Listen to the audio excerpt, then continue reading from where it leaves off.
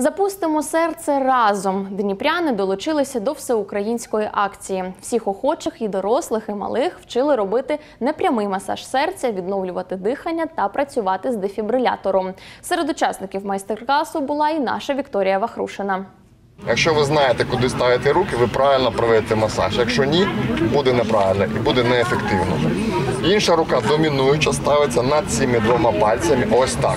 Починаємо непрямий масаж серця. У парку Шевченка зібралися десятки містян та гостей міста, аби навчитися надавати першу домедичну допомогу. Серед тих, хто прийшов за новими знаннями, дев'ятирічний Ярослав з Лисичанська. Спочатку було важко, а тепер легко. Якщо ти бачиш людину, яка не дихає, ти можеш її врятувати так, як я робив отак. Серцева реанімація для незнайомих з медициною справа не з легких. Крім спеціальних навичок, треба мати неабияку фізичну підготовку. Не кожному дорослому навіть під силу. Попробували, по крайній мірі, е, проводити серцево-легеневу реанімацію. Дуже важко. Дуже важко.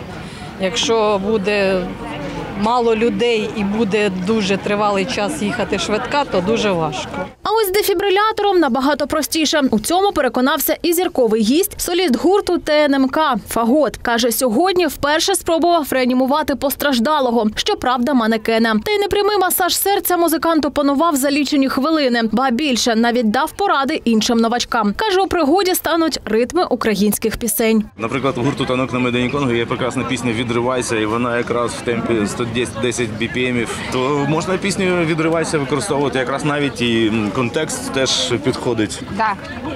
Так що you're welcome, у нас є український аналог.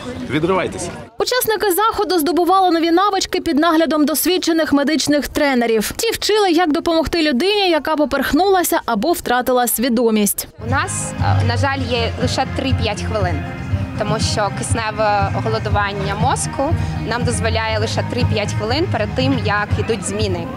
Тому ми кажемо про те, що навіть під час війни. Під час війни медична система дуже загружена, і швидкі не доїжджають в той час. І тому ця програма вона дуже важлива як суспільна ініціатива. Навчання організували благодійники разом for Ukraine та Smart Medical Aid за підтримки фонду пісні народжені в АТО. В умовах війни важливо дбати не лише про військових, а- і про цивільне населення, яке забезпечує надійний тил.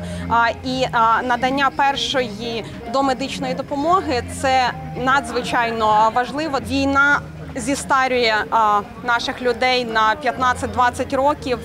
А, тому ті хвороби, які переважно наставали в 60-65, зараз значно помолодшали через стрес, війну. Дніпро вже друге місто, у якому відбулася акція Запустимо серце разом. Стартувала ініціатива у Львові. У Дніпрі організатори планують встановити три дефібрилятори у місцях масових скупчень людей. З їхньою допомогою можна буде реанімувати людину у випадку зупинки серця прямо на вулиці. Два дня тому у нас в Мост Сіті е, стався такий випадок, коли людині стало зле, і до е, того, як приїхала швидка, вже почали е, робити непрямий масаж серця. Тобто це були не медики, це були звичайні люди. Ми саме вибрали саме ну такі місця, там Мост Сіті, Аполло, е, вокзал, де е, благодійники зможуть е, ну, розмістити ці дефібрилятори. Вікторія Вахрушина, Владислав Смичков, Open News, телеканал відкритий.